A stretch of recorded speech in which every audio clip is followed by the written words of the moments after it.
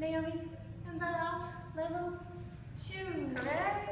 It's swing out month in level two. So your homework assignment, and the first thing we did was eight count footwork. Let's turn around so you guys can practice at home. I am leading, so I will start with the left foot. I'm following. So keep right. Five, six, seven, eight. One, two, three, four, five, six, seven, eight. Do this in front of TV while you're eating, doing taxes, other things. Just do this a lot. And then you wander around with it, forward and backwards. Then we just remember what a swing out was, and we talked a little bit about frame.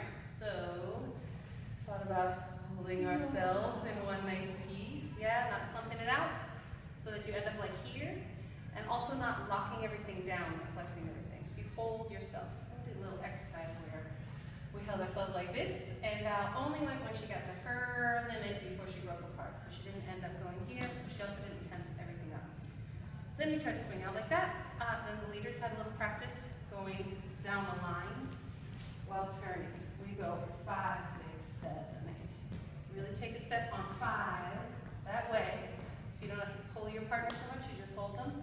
And then followers, uh, we did a little skipping. So if I'm the follower now, on my right leg, let's skip, let's skip, let's skip, let's skip. Sorry, I sprung it on you. And then we turn a little bit this way as we go. So that on the three and four, you're going a bit sideways. So if leaders practice that shape and followers do the twist on one, two, and then the three and four going this way.